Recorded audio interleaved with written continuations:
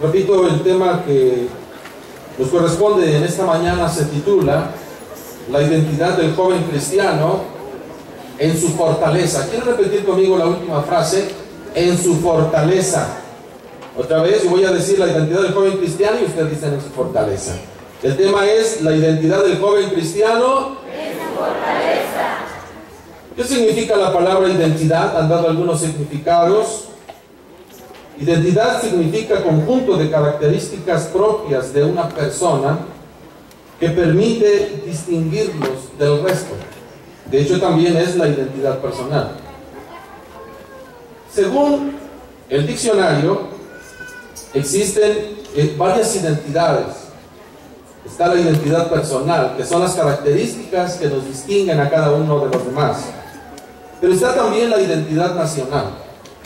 La identidad nacional es el sentimiento colectivo que está basado en la, en la, eh, en la pertenencia a una nación. Mi identidad nacional es que soy mexicano. ¿Usted también lo es? ¿Cuántos mexicanos hay aquí al nombre de Cristo? Eso es identidad nacional. Existe la identidad de género. La identidad de género es la, la diferenciación entre un hombre y una mujer. Hay mujeres aquí, podemos dar gloria, pueden dar gloria a Dios al nombre de Cristo. Gloria. Ahora los varones, al nombre de Cristo. Gloria. Esa diferenciación, que cada uno sepa lo que uno es, es la identidad de género. Y finalmente existe la identidad cultural. La identidad cultural es la identificación de un miembro con un grupo un grupo en, especial. Ya puede ser que este grupo consista en tradiciones, valores o incluso tiene que ver en creencias. Nosotros pertenecemos a un grupo cultural y nuestro grupo cultural, diríamos así, aparte de que somos mexicanos, aparte de que cada de uno sea hombre o sea mujer, también nos, nos, identificamos en esta mañana con un grupo cultural en particular. Somos cristianos. Somos cristianos.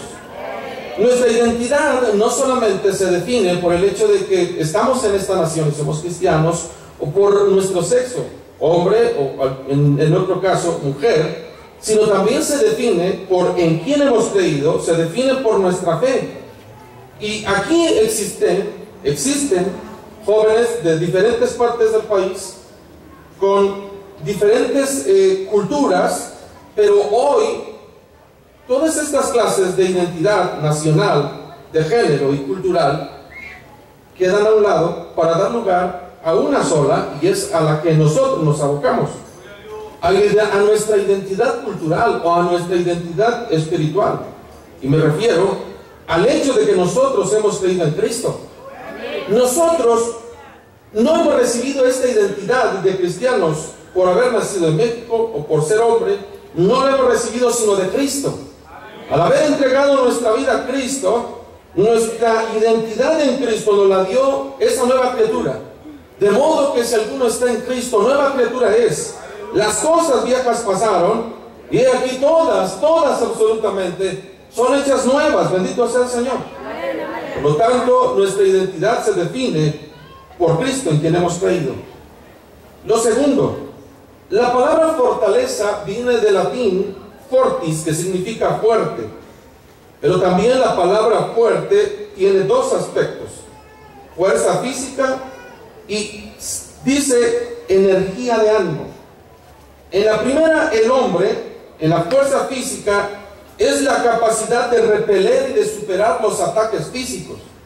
Pensemos, por ejemplo, en dos boxeadores. Utilizan la fuerza para defenderse y para atacar. Y déjeme decirle que es, más, es mejor dar que recibir. Bueno, y existe también el segundo del aspecto de la palabra fortaleza, es la capacidad de soportar, de rechazar y también de superar las dificultades. Ese significa la palabra fortaleza y nosotros nos vamos a enfocar en el segundo aspecto, cuando hablamos de la identidad del joven en su fortaleza, vamos a hablar de la capacidad que tiene el joven cristiano, que tiene en Cristo, de soportar, de rechazar y de superar las dificultades. En la teología cristiana, la fortaleza es una de las cuatro principales virtudes, se les llama virtudes cardinales. Estas están unidas a la prudencia, la justicia y la templanza. Todo cristiano debe de cultivar estas cuatro virtudes, la prudencia, la justicia, la templanza y la fortaleza. La fortaleza también es la virtud que da firmeza al cristiano al tomar decisiones para resistir la tentación. En otras palabras, viene la tentación y lo que necesitas es fortaleza. Necesitas fortaleza para superar los obstáculos que se presentan en tu vida. Inclusive, la fortaleza es la capacidad para vencer el miedo a la misma muerte para aceptar el sacrificio de la vida propia por una causa justa, que es exactamente lo que hizo Jesús. Él, dice la escritura, que se hizo obediente hasta la muerte y hasta la muerte de cruz. Y en todo eso mostró fortaleza. Bendito sea el Señor. Pensemos ahora nosotros en nuestra vida, en nuestra propia vida, para poder mirar la necesidad que tenemos de la fortaleza. ¿Qué es lo que usted hace cuando en su vida se presentan circunstancias difíciles, a las cuales llamamos obviamente problemas? ¿Cómo reacciona usted ante los problemas, ante los embates y ante las dificultades de la vida? Hoy quiero proponerle dos cosas en este sentido. Una, dejarnos vencer. Esa es una opción. Ante los problemas y las dificultades, una es dejarnos vencer. Lo segundo es enfrentar el problema con valentía, buscar la solución, dándolo, dando todo de nosotros y hacer lo mejor posible para que podamos salir adelante. Eso es lo que podemos hacer. Frente a los problemas, o nos dejamos rendir, perdón, vencer por ellos y nos rendimos, o los enfrentamos hasta vencerlos. Ojalá nunca tuviéramos que enfrentar situaciones difíciles, pero sin lugar a dudas, todos tenemos, enfrentamos situaciones difíciles y en algún momento de nuestra vida enfrentaremos problemas. En el hogar, en la escuela, en nuestra vida espiritual. Recordemos que tenemos un enemigo que todo el tiempo anda como león rugiente buscando a quien devorar, poniendo obstáculos, problemas, dificultades.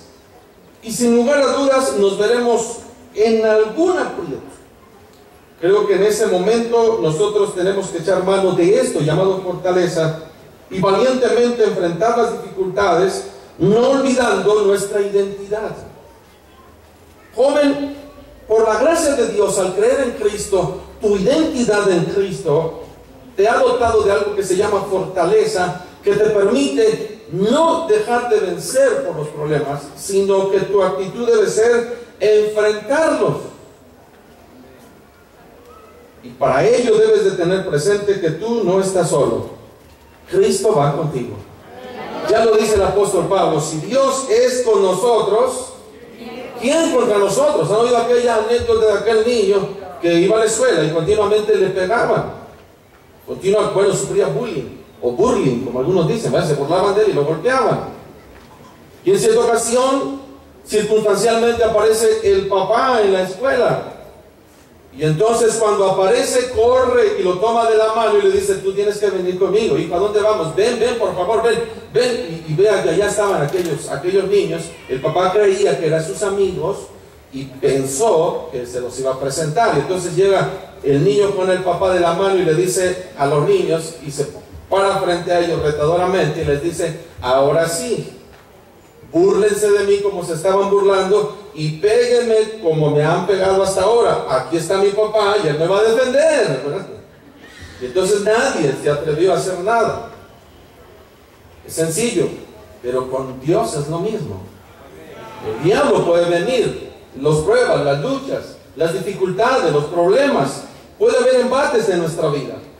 Pero si nos tomamos de la mano de Dios y traemos a nuestro papá espiritual, podemos ser fuertes en el nombre del Señor. Al nombre de Cristo.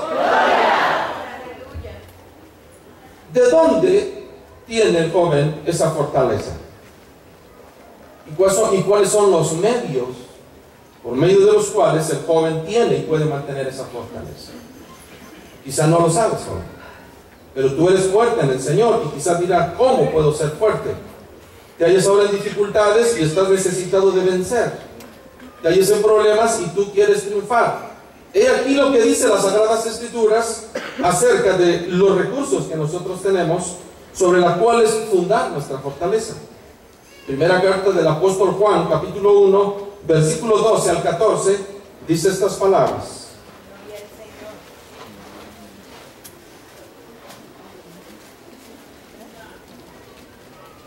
Perdón, es capítulo 2. Primera de Juan, capítulo 2, versículos 12 al 14. ¿Quieren leerlo conmigo? ¿Quisieran ponerse de pie? Hace muchos años, cuando leemos las escrituras, nos ponemos de pie. Se ha perdido esto. No, leeré no les pediré que se paren cada vez que voy a leer un, texto, pero quizá en, en, este primer punto sí. Primera de Juan, capítulo 2, versos 12 al 14, leeremos en voz alta. Os escribo a vosotros, hijitos, porque vuestros pecados han sido perdonados en su nombre. Os escribo a vosotros, padres, porque conocéis al que es desde el principio. Os escribo a vosotros, jóvenes, porque habéis vencido al maligno. Os escribo a vosotros, hijitos, porque habéis conocido al Padre. Os he escrito a vosotros, padres, porque habéis conocido al que es desde el principio. Os he escrito a vosotros, jóvenes, porque sois fuertes y la palabra de Dios permanece en vosotros y habéis vencido al maligno y al nombre de Cristo. Tomen asiento, por favor. Por principio de cuentas, tenemos que decir que la fortaleza, la fuente de la fortaleza del joven está en Cristo Jesús. Miren, no debemos de confundir la fortaleza y la fuerza. La fuerza está en el inconverso y está en el joven cristiano. Y la fuerza consistiría ahora en que yo pidiera a dos jóvenes que dijeran, carguen estas bocinas y pásame para allá. Y quizá más de uno, al ver la muchacha que está aquí, se animaría a cargarlo solo. Eso es fortaleza física. Y contra el diablo eso no funciona. Contra las tentaciones, esa no funciona. Yo recuerdo haber escuchado de un hombre que él decía que quería encontrarse con el diablo y que dice que porque estaba seguro que el día que se encontrara con él, lo iba a golpear, lo iba a patear lo iba a dejar tirado en el suelo, dice, bañado en un charco de sangre. y yo decía, eso es imposible. No tenemos lucha contra carne y sangre. No es nuestras fuerzas físicas. Entonces, la escritura nos está hablando más bien de una fortaleza espiritual. No confundamos, no es la fuerza física es la capacidad de poder soportar y de poder levantarte del problema. Pues esa fuerza no está en tus músculos, esa fuerza está en tu corazón si has creído en Cristo.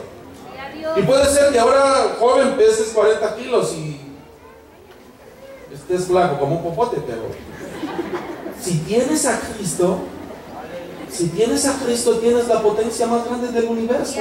Bendito sea el Señor. Puedes ser la persona más débil, puedes ser joven puedes decir soy frágil. Puedes decir es que difícilmente puedo yo con mi propia vida. Sí, eso es físicamente. Pero cuando tú crees en Cristo, puedes enfrentar las potestades del enemigo. Las puertas del infierno pueden levantarse en contra de ti y tú prevalecerás contra ellas en el nombre de Jesús. Porque tu fuerza está en Cristo. Aquí lo dice Juan también en el capítulo 5, verso 5. ¿Quién es el que ha vencido al mundo sino el que cree que Jesús es el Hijo de Dios?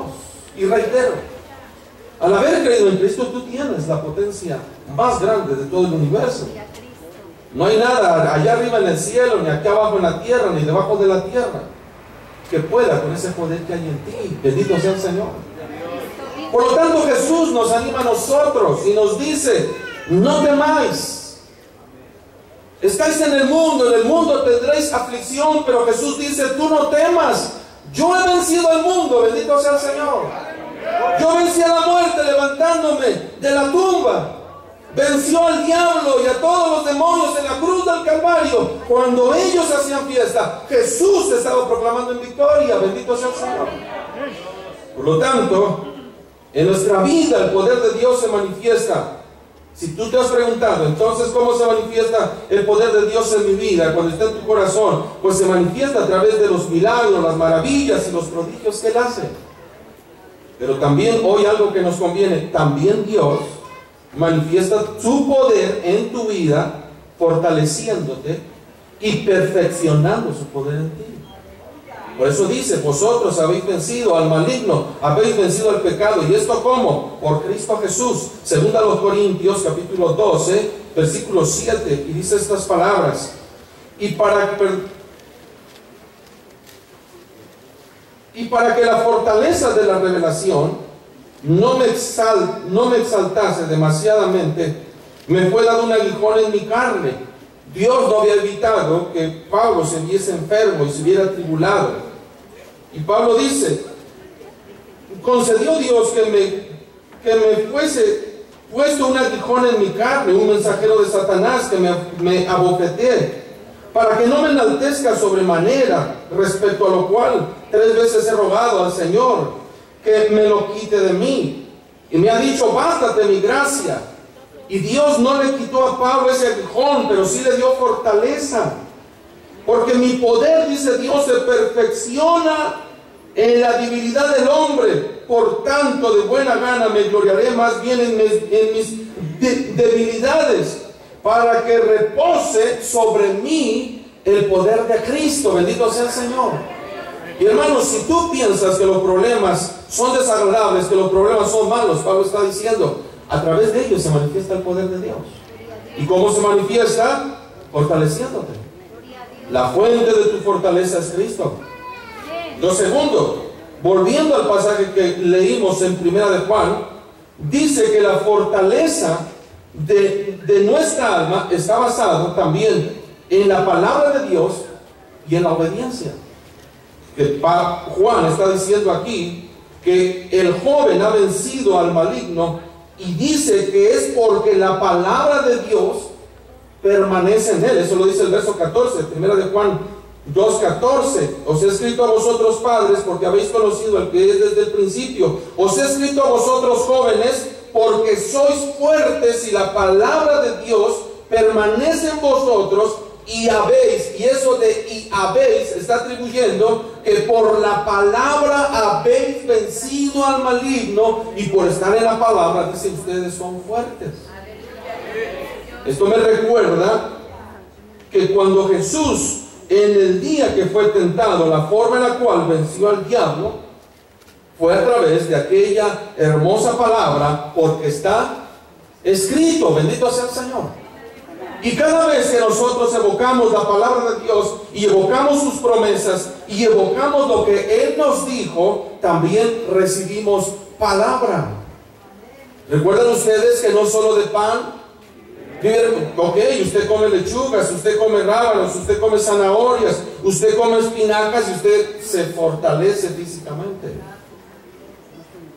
Usted come palabra y usted se fortalece espiritualmente. Recuerdo hace pocos años haber tenido una fuerte lucha de la cual estuve orando y ayunando durante bastante tiempo. Y aunque estuve orando y ayunando, orando y ayunando, el final de la lucha fue precisamente cuando parecía que todo estaba terminado y estaba derrotado. Recuerdo haberle abierto las escrituras y haber leído un pasaje y haber dicho, escrito está, y leí el pasaje y dije, en el nombre de Jesús, vete. Y en ese momento, el diablo se fue. Porque somos fuertes en la palabra de Dios. Cada vez que usted enfrenta un ataque del enemigo, cada vez que usted enfrenta, hermanos, incluso un ataque del mismo diablo, podemos citar la palabra de Dios y en ella seremos fuertes. Proseguimos. El creyente recibe también la fuerza y el poder para poder ser, estar fortalecidos ante las dificultades por el Espíritu Santo de Dios. ¿Estamos de acuerdo? Ya lo había dicho Jesús claramente, antes de que ascendiese al cielo. Él habló a sus discípulos y en Hechos capítulo 1, versículo 8, seguro usted conoce este pasaje, Él les dijo, pero recibiréis poder cuando haya venido, ¿quién? Sobre vosotros, ¿quién? El Espíritu Santo. Me seréis testigos en Jerusalén, en toda Judea, en toda Samaria y hasta lo último, y hasta lo último de la tierra. Los discípulos conocían bien esto, o sea, lo aprendieron bien. Y ellos se levantaron y predicaron y testificaron con poder, aun cuando se vieron en dificultades. En cierta ocasión dice la escritura que Pedro y Juan fueron llevados ante el concilio, fueron encarcelados. Y la escritura dice que llenos del Espíritu Santo se pararon y dijeron, juzguen ustedes si es justo obedecer antes a los hombres que a Dios. Y aunque les intimidaron y les amenazaron, no vuelvan a predicar, no vuelvan a hablar de esto. Llenos del Espíritu Santo, fueron ya a la primera plaza que encontraron, a gran voz empezaban a decir que Jesucristo era el Señor y que tenían que creer en Cristo. Arrepentidos y ser salvos de esta perversa generación. Posterior a eso, la iglesia vive otro episodio, en lo cual también la iglesia es perseguida. También dice Hechos capítulo 4, versículo 29. Ellos no fueron a pactar con los romanos ni con los judíos. Oigan, hagamos una tregua. No puedes hacer tregua con el diablo. No puedes hacer como aquel obrero que lo haya su pastor en una hamaca y le dice, ¿qué es lo que estás haciendo? Descansando. Y le dice, ¿cómo te trata el diablo? Me trata bien. ¿Cómo? A mí me trata mal. Es que hicimos un pacto. Yo no me meto con él y él no, se mete conmigo. Esa no es la forma en la cual vas a vencer tus problemas y tus dificultades. No puedes pactar con el diablo. La iglesia no fue a pactar con los judíos ni fue a pactar con los romanos. Él pactó con Cristo. Y así es como la iglesia ha sobrevivido a través de los tiempos y a través de, los, de las edades. Ya ha padecido, ya ha pasado por guerras, ya ha pasado por hambres, por persecución, ya ha pasado por destrucción. Y se han levantado reyes y se han levantado emperadores y gobernadores y se han, se han levantado reinos, pero todos ellos han caído, bendito sea el Señor. Y aquí estamos, más cerca de dos mil años, y seguimos leyendo estas palabras y este evangelio sigue, predica, sigue siendo predicado el poder del Espíritu Santo de Dios. Hechos capítulo 4, permítame leer este pasaje, versículo 29. Y ahora está orando la iglesia y ahora mira sus amenazas y concede a tus siervos que con todo de nuevo hablen tu palabra. Ellos no hablaron, Señor, que se detenga la persecución. Señor, ya no quiero queso, quiero salir de la ratonera. No dicen eso. Al contrario, danos fortaleza y danos poder. Y ellos decían, danos, danos, danos tú, Señor. Y que hablemos con de nuevo tu palabra mientras extiendes tu mano para que se hagan sanidades, señales y prodigios mediante el nombre de tu santo Hijo Jesús. Cuando hubieron orado, el lugar en que estaba congregado tembló. Todos, bendito, fueron llenos del Espíritu Santo y entonces fortalecidos hablaban con de nuevo la palabra de Dios. Bendito sea el Señor. Cada vez que tú te ves en dificultades y en problemas, tú debes echar mano del Espíritu Santo de Dios. Otra cosa que quiero mencionar es nuestra fe. Nuestra fe en Jesucristo. Eso lo dice San Juan capítulo, perdón, primera de Juan capítulo 5, verso 4. Primera de Juan capítulo 5, verso 4 y 5. Porque todo lo que es nacido de Dios vence al mundo. Esta es la victoria que ha vencido al mundo. ¿Cuál es? Nuestra fe. ¿Quién es el que vence al mundo sino el que cree que Jesucristo, que Jesucristo es el Hijo de Dios? Es pues la confianza que tenemos en el Dios vivo, en el Dios verdadero, en el Dios santo, en el Dios poderoso, lo que nos permite esta fortaleza. Los soldados romanos cuando llevaban a los cristianos en el Coliseo y los, los entregaban a las fieras, ellos se sorprendían que no corrieran, sino que muchas veces entonaban alabanzas, otros oraban y otros sencillamente con la, con la mirada fija en el infinito esperaban pacientemente a que viniesen las fieras y las devoraban. Y los romanos muchas veces se preguntaron, ¿qué es lo que tienen estos hombres? Ni los hombres más valientes de, de nuestros ejércitos tienen ese valor para ver la muerte frente a ellos con tanta serenidad y con tanta fortaleza? Es sencillo. Su fuente quizá era la ira, quizá era el odio. Su fuente sencillamente era la codicia por el dinero, por el salario que, que ganaban. Pero muchos creyentes murieron, pero murieron puesta su fe en Jesucristo, bendito sea el Señor. Y en los momentos más adversos y más difíciles podemos decir con toda certeza, todo lo puedo en Cristo que me fortalece. Amén. Al nombre de Cristo. Lo tenemos. Podemos sufrir persecución en algún momento. Podemos sufrir aprobio, desprecio, desprecio del mundo. Podemos sufrir desprecio por causa de nuestra fe. Pero en Cristo y por nuestra fe lo podemos soportar. Soportar todo. Y como gritaban aquellos que murieron en la hoguera, y si mal no recuerdo, como, di, como lo, lo, lo, hicieron aquellos mártires de la reforma, a quienes les pusieron leña y los quemaron vivos, y muchos de ellos gritaban la misma palabra, victoria en el nombre de Jesús, victoria, hemos vencido. La muerte ni siquiera era la derrota, más bien, la muerte era sencillamente la proclamación de la victoria en un creyente por la fe en Jesucristo. Porque ni la muerte, ni lo creado, ni lo increado, nada, nada puede separarnos del amor de Cristo. Bendito sea el Señor. Prosiguiendo, tenemos los medios. Sabemos que la fe, el Espíritu Santo de Dios. Sabemos también, como lo hemos mencionado aquí, la obediencia como también nuestra fe, no menciono la oración, ya se mencionó la oración, todos los medios con los cuales nosotros podemos ser fuertes. Pero hay una pregunta más. Si ya tengo los medios, pero ¿cómo puede ser? ¿Cómo puedo ser fuerte? ¿Cómo puedo yo utilizar eso? ¿Hay algo que tengo que hacer yo Digamos que lo que hemos mencionado es la parte de Dios. Dios nos dice, tú no temas, yo estoy contigo, tú no temas, yo te ayudo. Pero sin embargo, por alguna razón, a pesar de que tenemos tales promesas y tenemos tales medios, todavía el creyente muchas veces se sigue amedrentando. Se sigue debilitando. Muchas veces el joven también, al enfrentar las adversidades, aún con todo y eso, sigue desconociendo cuál es su parte, qué es lo que tiene que hacer. Si yo dijese solamente, tú tienes que estar firme frente a los problemas, tú tienes que estar frente, eh, firme frente a las dificultades, y tú, tú eres como el ave fénix, tú vas a resurgir de las mismas cenizas. Y podríamos pensar en el creyente como un costal de papas, al que viene el diablo y lo golpea. No, tú aguanta, tú aguanta, tú aguanta. Porque no, no les ha pasado que ustedes tienen un problema y van y le dicen al pastor, pastor, tengo este problema, y él siempre da la misma respuesta. Tú aguante, ponte a orar. Y a los 15 días, pastor sigue teniendo el mismo problema. Tú aguanta, sigue orando. Al mes, pastor, tengo el mismo problema, pastor, ¿verdad? Tengo el mismo problema.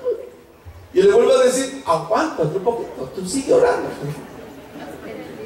Y entonces, a veces queremos otra respuesta. Queremos una solución. Y ya algunos miembros dicen, oye, tengo un problema, pues cuéntale al pastor, ¿qué me va a decir? Me va a decir que, que aguante y que ore.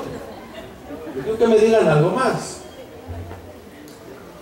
Si hay algo que puede hacer. Por principio de cuenta la escritura, sí tenemos que dejar en claro que el joven debe de hacer frente siempre a las adversidades. Joven, no el primer problema, de la iglesia. No la primera dificultad te apartes del camino de Dios. No el primer desprecio no a la primera prueba, trates de abandonar el camino de Dios, cualquiera que sea. Sea falta de trabajo, sea persecución, persecución, sea desprecio, sea enfermedad, lo que sea. Tú debes de hacer frente a todo lo adverso, lo malo, lo contrario, lo difícil, por traumático que sea, por frustrante, por destructivo, por persecutorio, por mundano, por maligno, por carnal, por bajo, por impropio, por pecaminoso, contra todo lo que se oponga contra tu fe Debes de tener siempre la idea, aquí me voy, me voy a quedar. No me voy a mover. ¿Quién te trajo a la iglesia? ¿Te trajo el pastor? ¿Te trajo tu papá? Bueno, a lo mejor alguno te trajo una fuerza, pero no me refiero a eso. Me refiero a que si tú te has entregado a Cristo y te has bautizado, ¿te trajo un hombre? Si tú estás consciente que Cristo te trajo, entonces tú debes de quedar ahí donde Cristo te trajo. Y debes de tener esa idea, aquí me voy a quedar. Cristo va a venir y cuando Él venga, aquí me tiene que encontrar. Amén, hermano. Conocí un anciano y él decía, a mí nunca me van a correr de la iglesia. Y si ustedes me corren, él decía, me pueden sacar por una puerta, pero yo voy a entrar por la otra. Y si me cierran las dos puertas, de todas maneras, aunque sea aquí por la ventana, pero yo voy a estar viendo y, y alabando al Señor. Y si ustedes me cerraran el portón allá de la entrada del templo, de todas maneras, allá me voy a sentar, voy a esperar a Cristo y cuando Cristo venga le voy a dar la queja que ustedes me corrieron. Pero no me aparto de Cristo.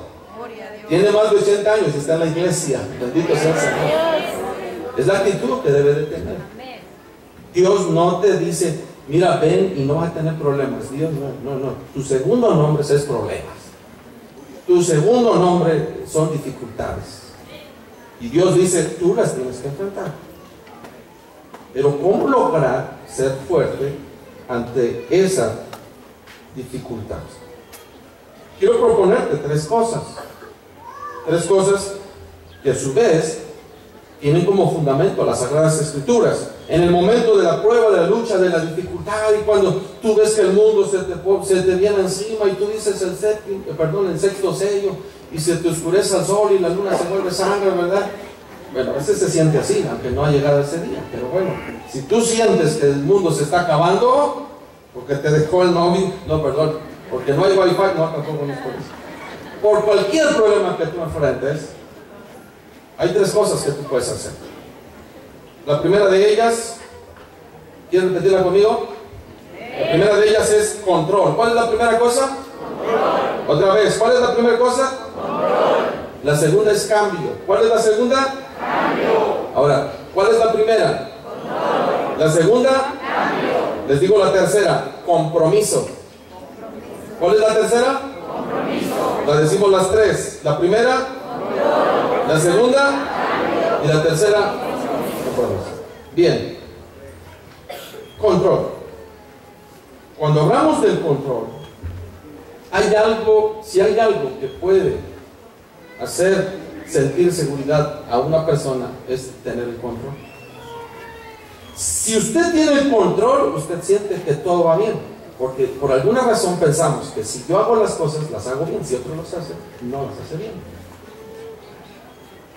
Usted se ha sentado después de manejar, se ha sentado en el lugar del copiloto y de pronto le va diciendo al copiloto, frénale, acelera, frénale, métete, métete, no, no, tope, tope. Entonces, usted no va manejando, va manejando el otro y de pronto el otro, pues pásate atrás, ¿no? O te abro la cajuela, ya, cálmate, ¿no? Pero esa es una reacción normal. Creemos que si tenemos el control, las cosas van bien.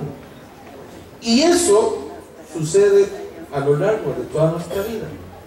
El asunto es que cuando usted tiene un problema, tiene una dificultad, tiene una ansiedad, tiene una angustia, se encuentra en la aflicción, ¿por qué siente frustración? ¿Por qué siente angustia, dolor? ¿Por qué le dan ganas de chillar toda la noche? Porque usted siente que no tiene el control.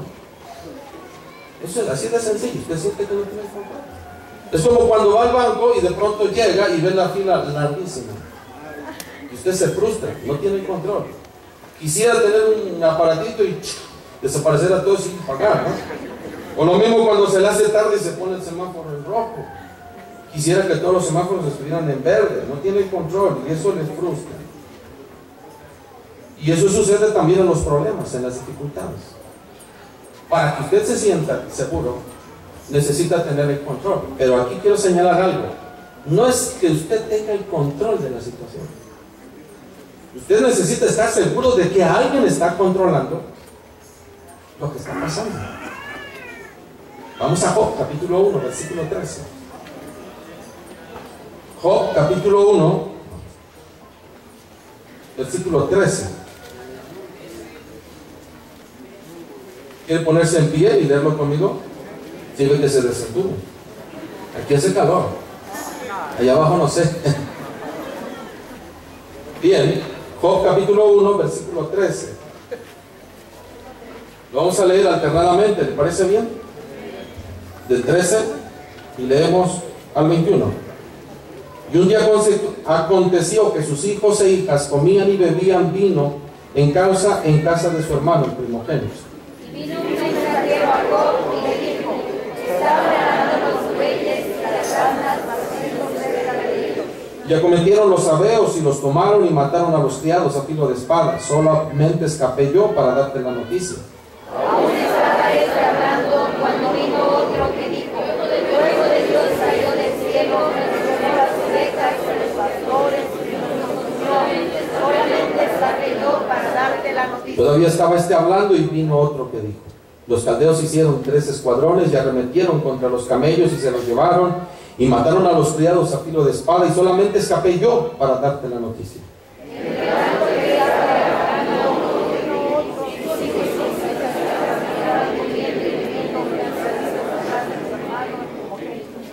Y un gran viento vino del lado del desierto y azotó los, las cuatro esquinas de la casa, la cual cayó sobre los jóvenes y murieron y solamente escapé yo para darte la noticia.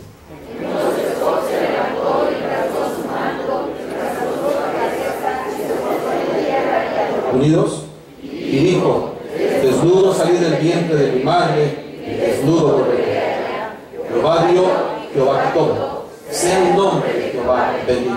Gracias, tome asiento. ¿Puedes dar gloria a Dios? Al nombre de Cristo. Al nombre de Cristo.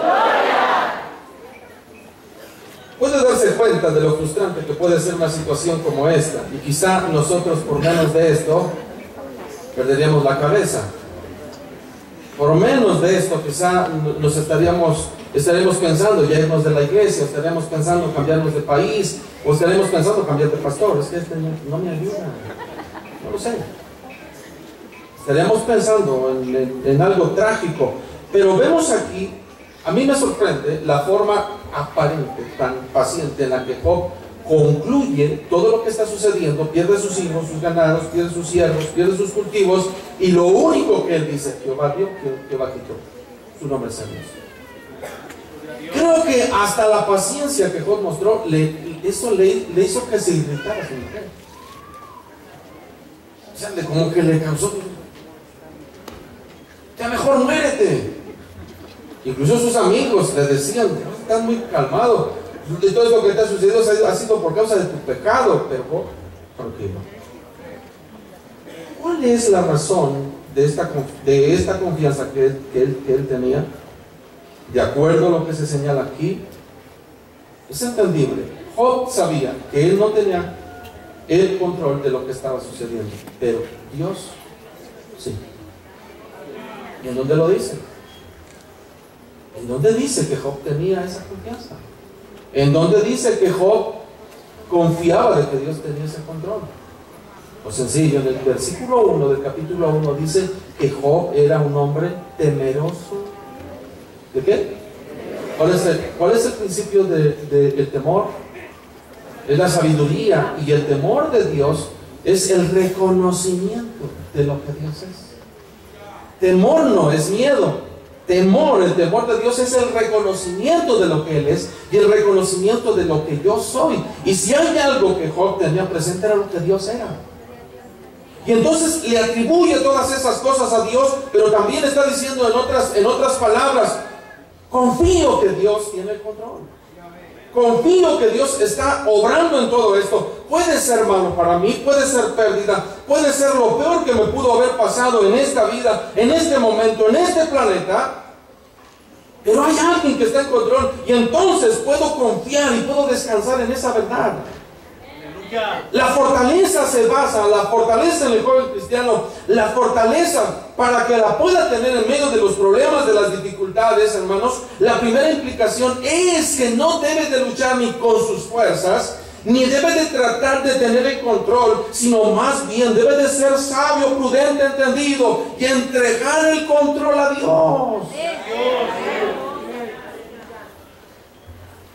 No él dijo, aunque mi carne se deshiciera, o sea, Dios tiene tanto control de mi vida que aunque mi carne se deshiciera y descendiera hasta el polvo, yo sé que desde ahí me levantaré, con mis propios ojos veré a mi redentor. Yo sé que mi redentor vive y a su nombre.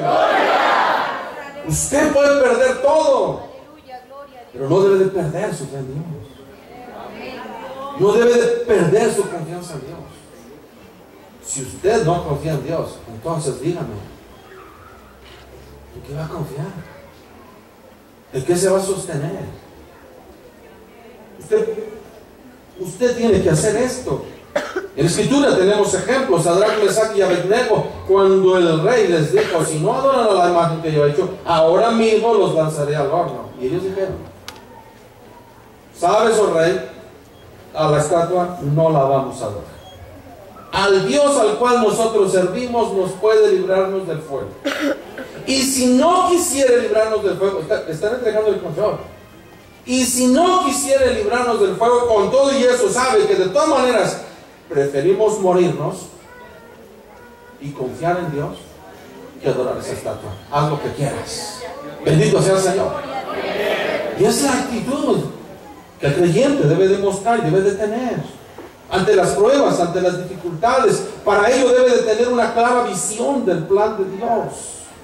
Debe de tener una clara visión del plan de Dios. Jesús la tenía. Recuerden ustedes cuando iba caminando con sus discípulos y de pronto le dicen, Señor, aquí hay un ciego y este es ciego de nacimiento. ¿Quién pecó, él o sus padres? Y Jesús dice, ni él ni sus padres. Dios tiene el control. Esto es para que la gloria y el poder de Dios se manifieste. Es lo que debes de pensar en tu vida. Cuando vienen las pruebas, vienen las luchas, vienen las dificultades, debes de tener un plan claro en tu vida. No es por qué, es el para qué. Es el para qué. Todas estas cosas, sí, sí, hay, hay, un, hay un para qué. Recuerdo haber leído sobre la historia de una misionera europea, toda su familia, altos, güeros, azules, rubios, y ella nació con los ojos cafés. Y dice que a los cuatro años, desde los cuatro años, ella cuenta en su, en su biografía, ella cuenta que su mayor oración era, era Señor, ponme los ojos azules. Mi mamá los tiene azules, mi papá los tiene verdes, mi abuelito los tiene azules, Señor, mi abuelito, todos tenían los ojos de color menos ella. Y ella decía, Señor, ponme, ponme los ojos. Y entonces dice que en cierta ocasión fue y le preguntó a su madre, ¿qué puedo hacer para que Dios me conteste? Si ya oré, ¿hay algo, otra cosa que pueda hacer? Hija, ayunar. Se puso a ayunar tres días, a sus seis, siete años. Y ella dice, cuenta que ella creía que tras ese ayuno se iba a dormir con los ojos cafés y iba a despertar con los ojos azules. ¿no ven? El asunto es que cuando despertó y fue al espejo, ¡pum! ahí estaban los ojos cafés. Y ella siempre dice que durante toda su vida, hasta, hasta casi su, edad adulta, ella siempre dijo, Señor, porque yo no tengo los ojos azules o verdes, o todos lo tienen, yo los tengo cafés. Y dice que en cierta ocasión, estando en la India, hasta donde había llegado, su trabajo era rescatar niñas de los burdeles, porque ahí los padres las vendían, las explotaban sexualmente, y esa mujer se había dedicado a rescatar niñas. Había fundado Casas Hogar, donde atendían a esas niñas, y ella obviamente las predicaba, les enseñaba a leer, a escribir, y luego esas jovencitas las mandaba a rescatar a otras, y así había fundado misiones en la India.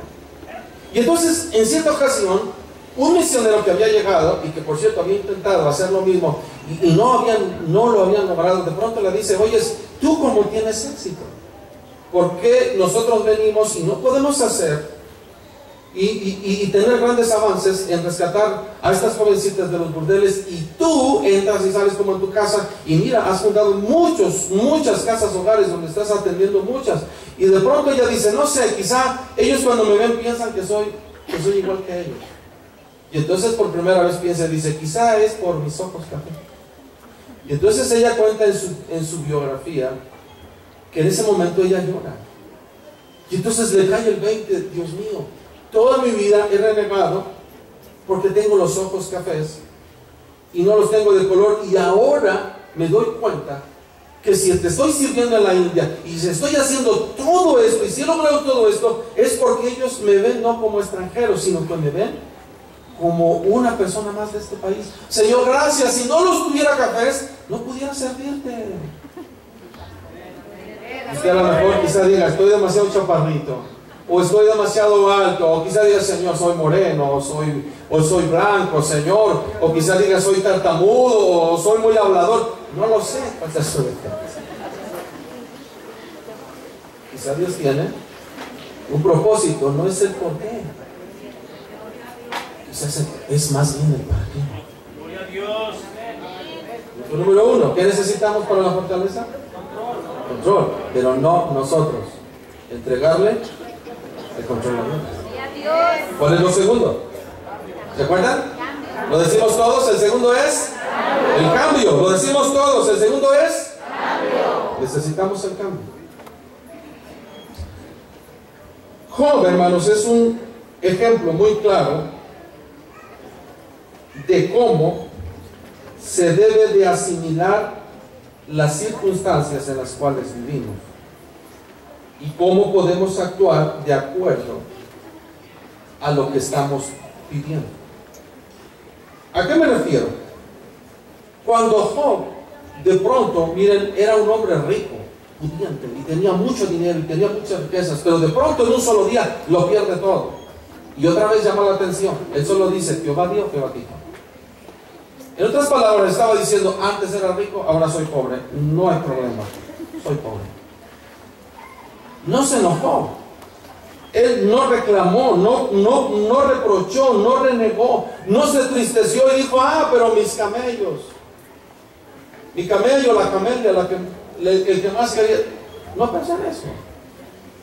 No pensó en su siervo, no pensó, no pensó en su ganado. Él no se aferró a lo que tenía. Hace algunos años, mi familia, mi esposa había comprado un coche y fuimos al súper. Un día antes había acabado de pagar, había dado el último pago. Fuimos al súper y fuimos a comprar las tortillas. ¿Quién sabe por qué sucede eso? Pero teníamos un carro nuevo y queríamos ir al súper a comprar las tortillas. Y solamente eso entramos, pagamos el coche, entramos todos a comprar las tortillas, para que no sintiéramos solos. Todos fuimos a las tortillas. Cuando salimos no estaba el coche. Y yo recuerdo que cuando no vi el coche, yo me puse a reír de nerviosismo. O sea, lo he visto, lo he escuchado, me lo han contado, pero nunca me había pasado. No sabía si llorar, si tirarme al suelo, si correr como loco. No sabía, y lo único que me hice, em, empecé a reír y mi esposa estaba llorando y se me quedó. ¿Solo te ríes? Eso es lo único que pasa. Y yo le digo, no sé qué hacer, me han robado. Como si fuera como me han robado el coche, no sé qué hacer. No sé si, no sé si ponerlo en Facebook, pero como cuando vas a las tortillas y te roban tu coche. Ustedes saben eso, ¿verdad? No sabía qué hacer. Y mi esposa es llorando pasó la primera patrulla y, y, la para y dice, señor, acaban de robar, señor, la placa. No, no, no me acuerdo. Fui, fui a, levantar el acta y me dice, señor, una señal particular, este, pues cuatro llantas, cuatro puertas, pero algo en especial, no, pues no tiene nada en especial mi coche, nada. Y mi esposa tardó tres días llorando. Y no, y no quería comer, no quería. Es que mi coche, no, no, puede ser posible. Un día antes lo acababa de pagar, no puede ser posible. Es que, pues sí es posible, se lo llevaron. ¿Sí, no? O sea, ya era la realidad, acércame. Pero ella testifica y dice que después de tres días de estar llorando y lamentándose, en una tarde, angustiada y llorando, va y ora al Señor. Y el Señor le dice, hey, espérate, ¿de quién era el coche, tuyo o mío? Entonces ella tiene que pensarlo dos veces, le está preguntando al Señor. Y dice, es tuyo. ¿Quién te dio para comprarlo? ¿No te puedo dar otro? Sí. Entonces no te lo robaron a ti, me lo robaron a mí, deja de estar chillando. Y se consoló mi esposa, salió del cuarto y dice, ¿qué crees? Me acabo de consolar. Ya, después de tres días, ya. Ya. Hermanos, eso se llama cambio. Es asimilar la situación. Es cierto. Hermano, es que estoy enfermo. Sí, es cierto, ya te estaba sano. Y estás enfermo, o sea, acéptalo. Estás pasando por una prueba, estás pasando por una dificultad. Y tú lloras como Magdalena, tú lloras como si estuvieras en el sepulcro. Está bien. Pero acéptalo, asimílalo. Es algo que es parte de tu vida. Y es parte del proceso de Dios. Pero Dios quiere que lo asimiles, o sea, que estés dispuesto al cambio. Pablo mismo decía acerca de este asunto, estoy entrenado en todo y para todo. Sé tener abundancia, sé tener escasez, sé tener hambre, sé, sé- también estar lleno, sé, eh, qué es lo que es estar bien vestido y sé lo que es tener lo que uno quisiera, eh, quisiera tener y lo anhela y lo tiene uno. Dice, estoy entrenado en todo por todo y concluye ahí diciendo, y todo, o sea, por si algo me falta, por si algo todavía no lo ha pasado, no lo ha sucedido en mí, todo lo puedo en Cristo que me fortalece. Así que ahora puedo estar comiendo y mañana puedo estar sufriendo, pero yo sé que alguien tiene el control, es Cristo, bendito sea el Señor. De alguna razón, algún motivo tiene. Entonces es la necesidad de aceptar la realidad. David aceptó la realidad cuando le dijeron que el hijo de Betsabé había muerto. Estuvo tirado en ayuno y, oración y no quería comer, más cuando le dijeron el niño ha muerto, se levantó, se bañó y dijo quiero comer. Y todos sorprendidos, ¿qué le ha pasado? Primero lloraba y ahora está, está pidiendo de comer y él dice claramente, cuando vivía había esperanza, ya sabía no nada que hacer, aceptó la situación.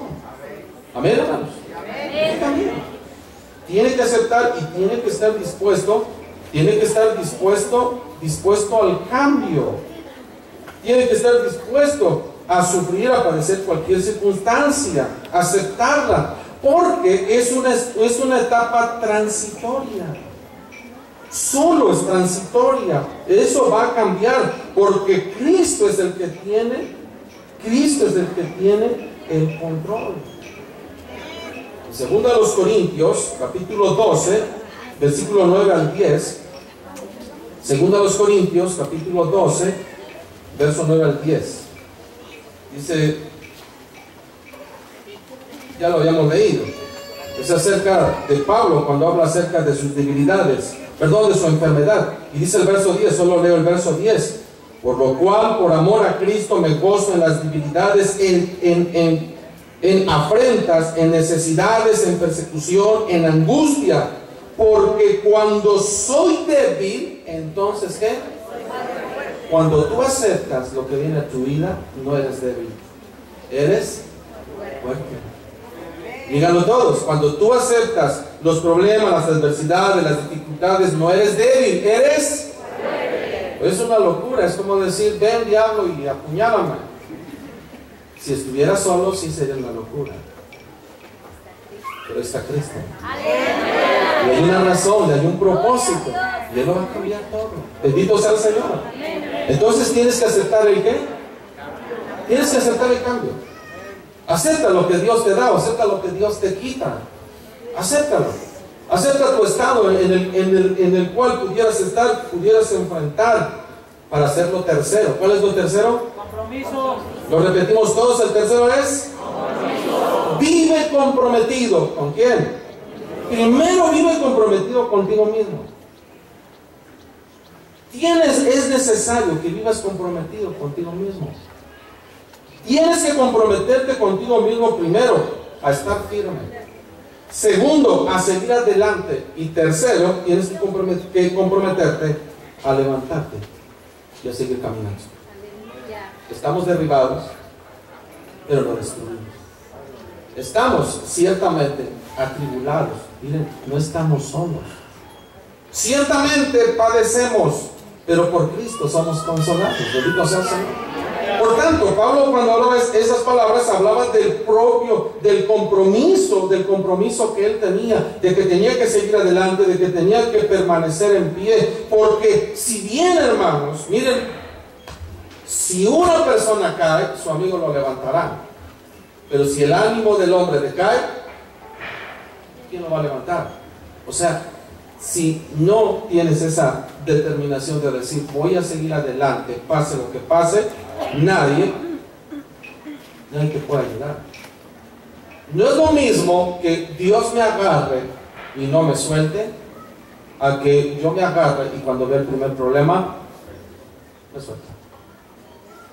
Y es lo que pasa. A veces el creyente dice que está bien agarrado, pero vienen los problemas y se suelta. Comprométete contigo mismo a no soltarlo pase lo que pase. Segundo, debes de estar comprometido con tu familia y o con la iglesia. O sea, comprométete con los demás. Así aconsejó Nehemías a los hombres del pueblo. Tras multiplicarse sus enemigos cuando construían el, construían el muro, él animó a los del pueblo de Israel a que vivieran comprometidos con sus familias, con los que estaban a su alrededor. Nehemías capítulo 4, verso 14, se los leo. Después miré y me, levanté y, dijo y dije a los nobles y a los oficiales y al resto del pueblo, no temáis delante de ellos, acordaos del Señor grande y temible, y pelead por vuestros hermanos, y por vuestros hijos, y por vuestras hijas, y por vuestras mujeres, y pelead por vuestras casas. Dice, le estaba diciendo, tú no te derrotes, porque si tú te derrotas, los que vienen detrás de ti también van, van a caer. Aquí hay padres. Padre, ante las dificultades tú debes de permanecer firme, porque así como tú te sostienes del Señor, también los tuyos se sostienen de ti.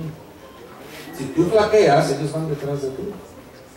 Como aquel día que el león salió a pasear con su cachorro y de pronto, al venirse una tormenta, empieza a correr y le dice a la cría, corre delante de mí, no te detengas.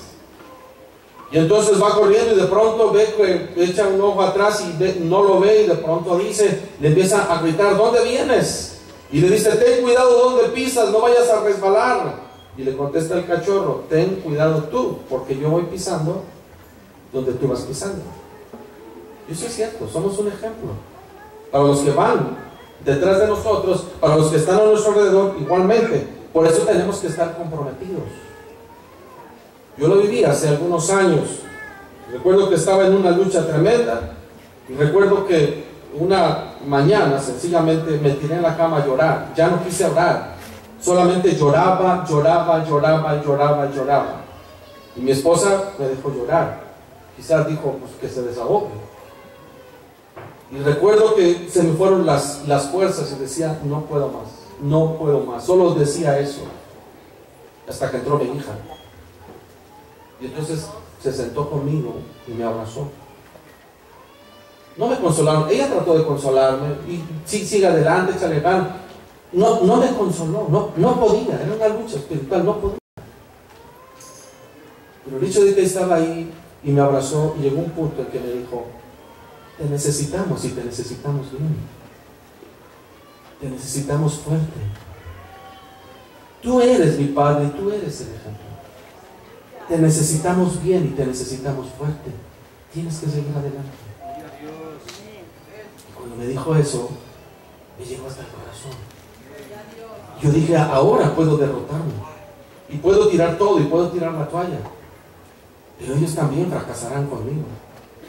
Pero si yo triunfo, ellos sentirán también que han triunfado. Los que, están, a- los que están a tu alrededor, si tú vences, si tú estás firme y tú vences y tú triunfas, ellos sentirán que están triunfando, están triunfando contigo. Tienes un compromiso con ellos. De estar firme y seguir adelante. ¿Cuántos decimos amén? Al nombre de Cristo. Y el tercero, lo dejé lo mejor para el último.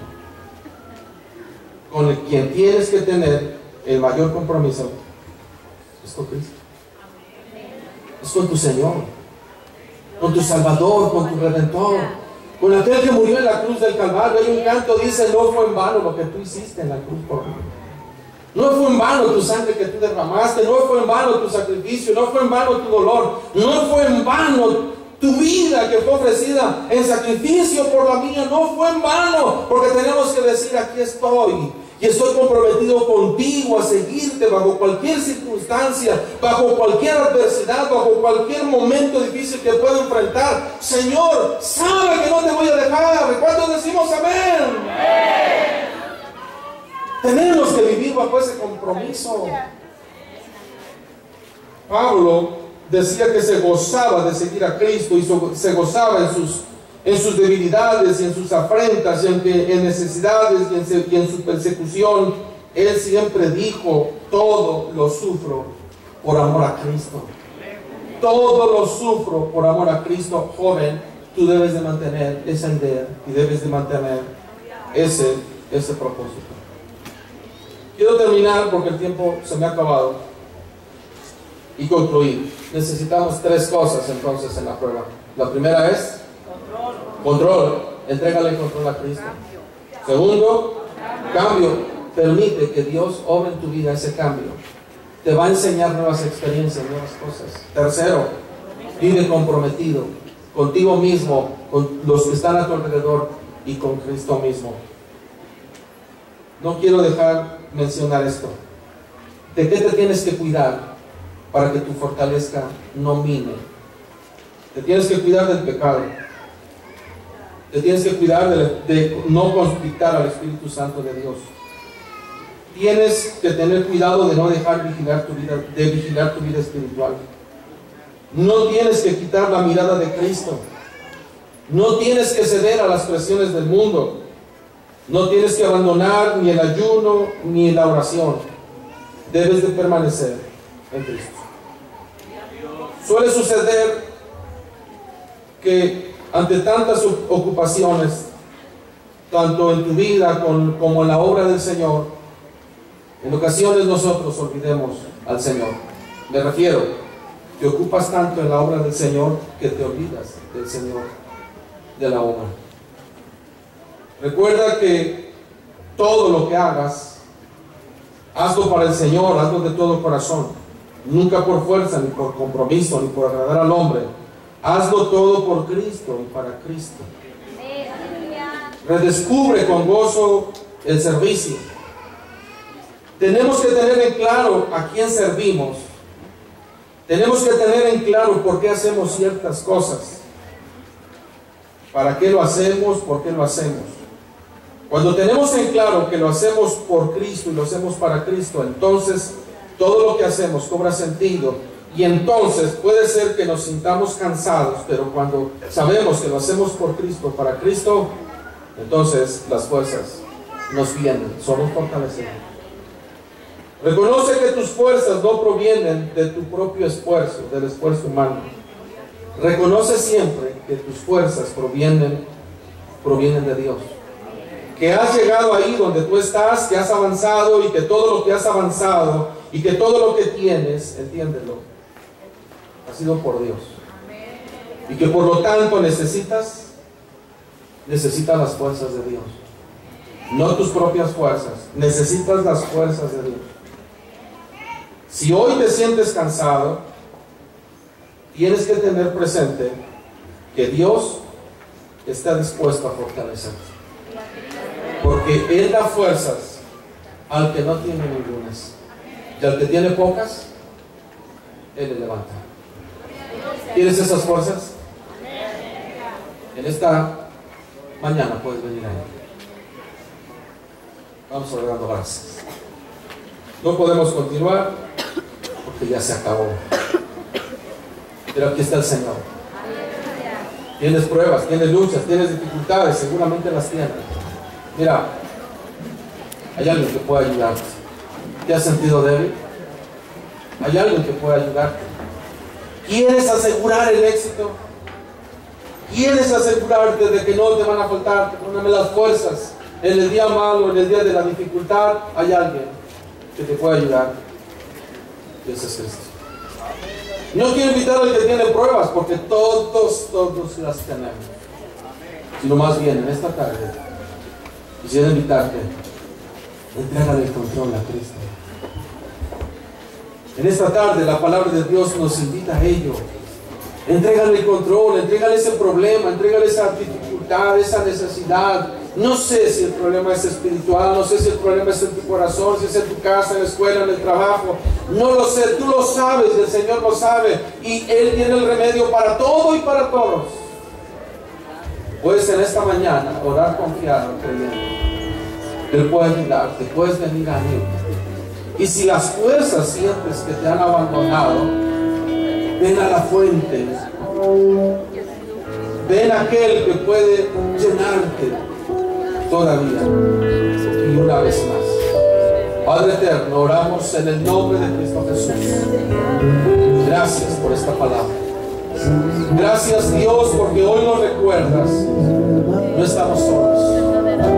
Gracias Señor porque hoy tu palabra me hace saber que tú estás conmigo. Y que cuando hay cosas que en mi vida resultan para mal, cuando hay cosas por las cuales me aflijo, me angustio, y que hay cosas que me hacen sufrir y me hacen padecer, hoy tú me recuerdas que tú estás en control y que por lo tanto no tengo que temer. Hoy,